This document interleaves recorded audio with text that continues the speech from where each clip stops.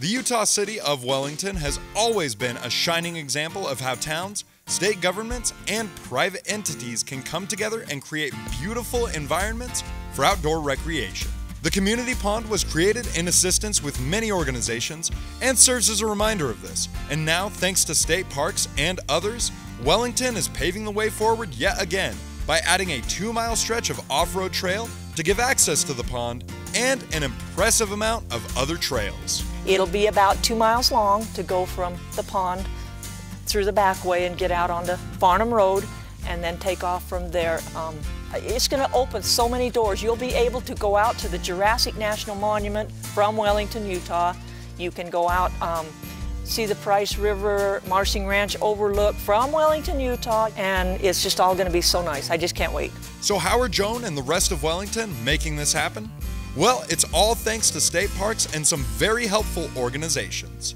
With Nielsen's Concrete and Scamp Excavation providing some essential materials, all that's needed is some financial assistance. This has come in the form of a Fiscal Incentive Grant, or FIG grant for short, and it's all helped Wellington get the ball rolling and become a paradise for OHV enthusiasts. Last year, one of my new council members applied for this uh, fiscal incentive grant, a FIG grant, and we were awarded it, and it was $12,500 because this goes on the outskirts, our trail goes on the outskirts of some private property, I wanted to fence my trail so that um, people would not be going off into the private property uh, that's around there.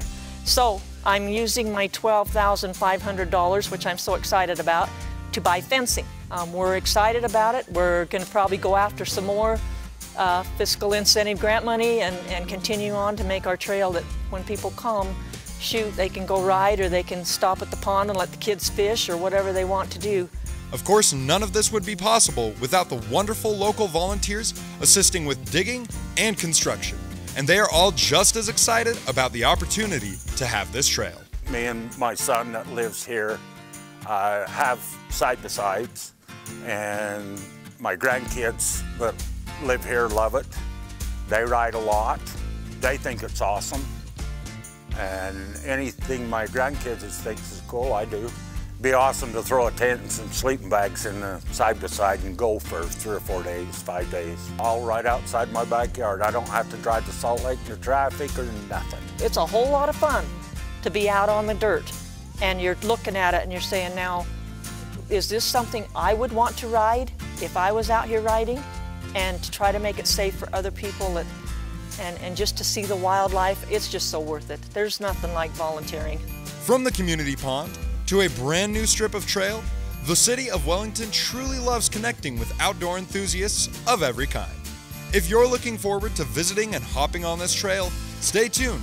The trail is set to be accomplished before the end of the year, so keep your vehicles warmed up and ready somewhere along the way to Wellington. For At Your Leisure, I'm Nick Chase.